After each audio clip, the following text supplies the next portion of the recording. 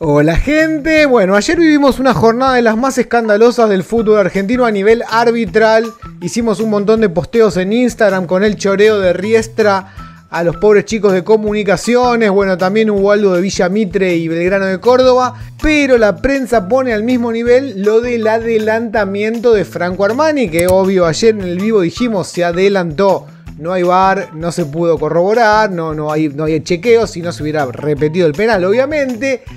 El tema acá es que hace horas nada más hicimos un video de la justificación de la piña de Advíncula Alemán y también la omisión en un montón de medios. Se habló un par de minutos, un par de minutos se habló, en algunos medios ni se habló, lo pudiste ver en nuestro informe de ayer. Se lo justificó a una piña mala leche, artera, que ya es repetida. No se habló tanto, hoy sí se habla, vas a escuchar a Leo Gentili, Viñolo, indignados, tristes porque ganó River, les duele, les duele que River haya ganado, les duele que River tenga una cantera impresionante, que los pibes de River pongan la cara, que River siga siendo el que más recauda, el que más gente lleva, les duele todo y encima hacen una diferencia muy notoria. Ellos festejaron toda la vida los adelantamientos de Oscar Córdoba, de Abondancieri, que se vivía adelantando, y también toda la vida festejaron el penal que Roma le atajó a Delem, aquel penal histórico, adelantándose. Y hoy se preocupan por esto, son de cuarta, gente. Antes de ir con el video, quiero mandar un gran abrazo a mi amigo Cucu, tatuador estrella de mi Santa Guadalupe, que me hizo este tatuaje de River y ayer me hizo este maravilloso tatuaje increíble en el cuello y también tiene todos estos productos como remeras de la marca 912 y tazas increíbles. Escribile a su Instagram y podés conseguir todos los productos que él tiene y además tatuarte. Él está en Canin, que es Ezeiza. Le mandás un mensaje, le pedís un turno y te tatuás con el mejor artista tatuando de toda la República Argentina y además es de mi total confianza. Gente, vamos con el video. Después de lo que ha sido ayer una jornada eh, triste. La verdad, eh, no estuvo bueno. Eh, todo lo que pasó ayer, las sensaciones que nos generaban, no estoy hablando del partido Comunicaciones Riestra, y estoy hablando también después de Mitre contra Belgrano, y estoy hablando también después del adelantamiento de Armani. El adelantamiento de Armani. son situaciones diferentes, distintas, ¿no? Pero, pero en todos los casos son errores realmente groseros. No son iguales no son iguales. Te da impotencia porque los de comunicaciones saben que tuvieron un año para trabajar y era la gran oportunidad y se le escapó. Ah, impotencia. Te da impotencia. Farré, Farré hoy, yo no sé si sigue, ¿eh? No sé si sigue. Ayer el rumor era que renunciaba, finalmente le confirmó a César Merlo que no. Bueno, más excursionista. o sea, por ese fallo Farré está en la cuerda floja. Y perdió un objetivo. Puede, llegar a perder el Yo voy a salir por ese fallo. Y excursionistas también, te falta. Y excursionistas también. Yo, excursionista tuvo una chance de empatar el partido, después no sé Yo voy a salir a favor de River, eh, porque también metamos un poco de, camiseta dentro de todo esto. Por supuesto que el penal se vio haber pateado de vuelta.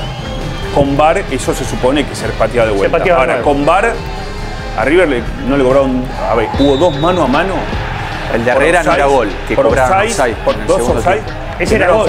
Era gol. No, no era gol, lo salvó en la línea. No, no, no, no, no, no. No, no, el que convierte, que hace la jugada de Herrera. No, no, en el final, en el final. Un pase de, de, Borja, creo, a, a Palavecino, creo. Ya, ya había sido lo mano a mano. Guido, y estaba habilitado. Ya. Para, para, para. Ya había pasado todo eso. Y el otro te lo dejo pasar porque iba 3-0 ya.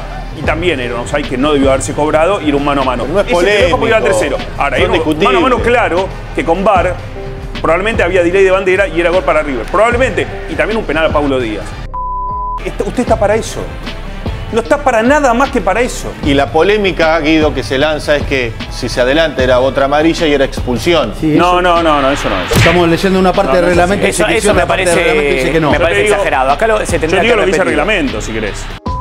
¿Me puede buscar cuándo fue la última vez que Riestra ganó sin trampa? Creo que hace jugaba eh, Diego Díaz. Todo el reducido. Eh, es tremendo. Todo, el reducido ganó bien. Hoy deberían eh, rever el partido. No digo jugarlo de nuevo.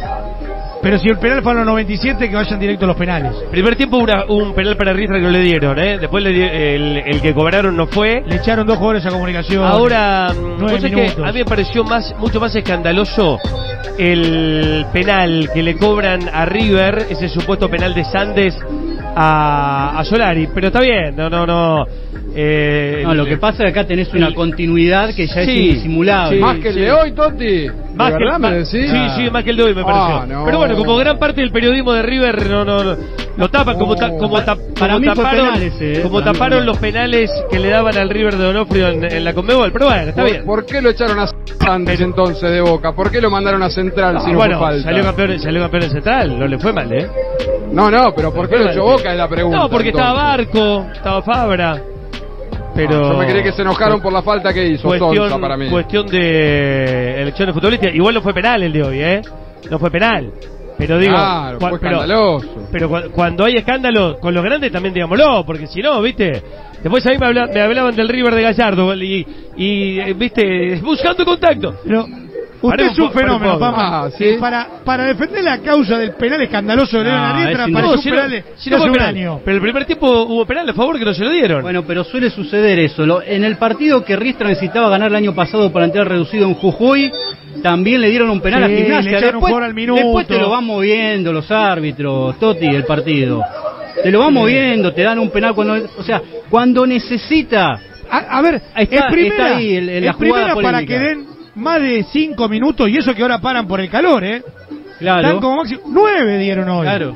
Creo que River tiene un equipo bárbaro. Bárbaro. Para mí es el mejor equipo del fútbol argentino. Bueno, los chicos lo decían, los de, los de excursionistas. Le ganamos al mejor equipo de América. Yo, yo digo eso. Por eso no hace falta River con el poderío, con el gran plantel.